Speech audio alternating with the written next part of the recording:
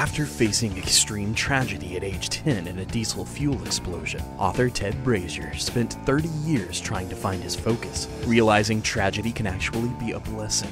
Follow him as he helps you to truly get the point.